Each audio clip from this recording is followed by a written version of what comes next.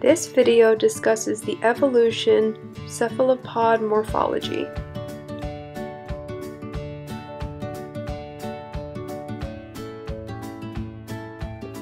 Can you imagine being able to taste ice cream with your hands?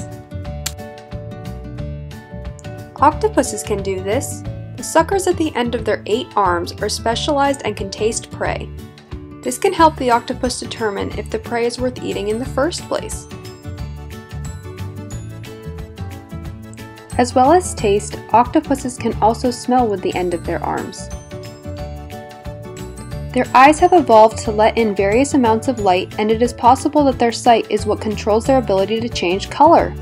They can even sense light using only their skin. Octopuses are part of a larger class of organisms, cephalopoda. This class includes not only octopuses, but also squid and cuttlefish. These organisms have evolved specialized sensors that help them thrive in their underwater environment. Now for a short science lesson.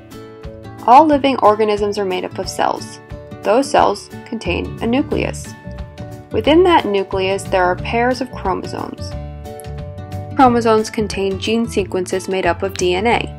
These sequences are what tell the next cell exactly how to develop. Recently, it has been discovered that the genes that code for specialized cells in cephalopod sense organs have evolved by increasing the number of times they repeat in an area, not by evolving the gene sequence itself.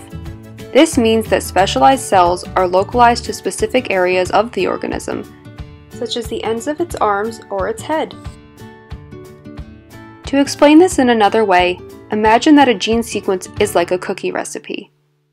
Each recipe can only make a certain number of cookies. Now, if you duplicate that recipe, you can make even more cookies in the same amount of time.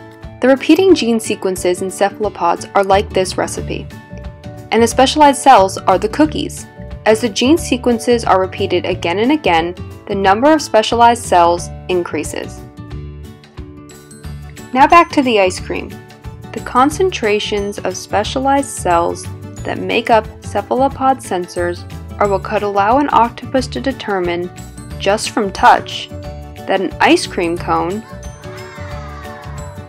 is not a rotten fish.